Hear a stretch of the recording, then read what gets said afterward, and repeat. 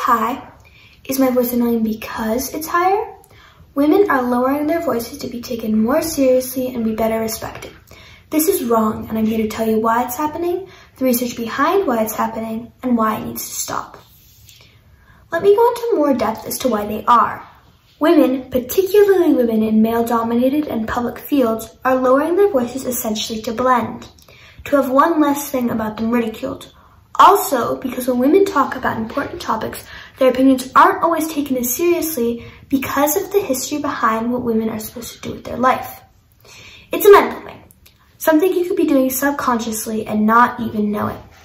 But it's there. Let me use a few women you know as examples. Margaret Thatcher and the Queen of England.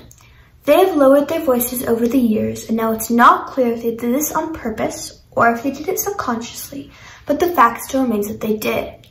Actually, this isn't just in their heads. In the 2012 election for the House of Representatives, the University of Miami found that candidates, both men and women with lower voices, had a better chance of being elected. Not only that, but they also had people rate past presidents of the US, and they found that people generally said that those with lower voices were shown as having greater integrity and prowess.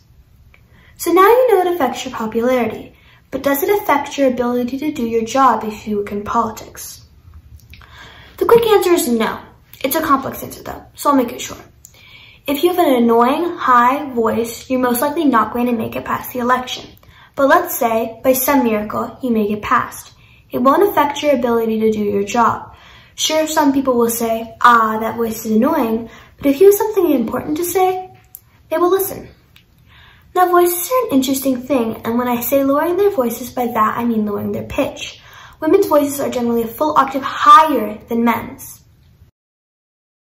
They have lowered over 28 hertz over the last 50 years. A hertz is a measure of frequency, if you were wondering. That's crazy. In conclusion, a woman shouldn't have to lower her voice just to be heard. History has shown that women feel the need to, which they shouldn't. All women should feel comfortable with their voices, and we need to focus more on a woman's words, not her voice. Thank you.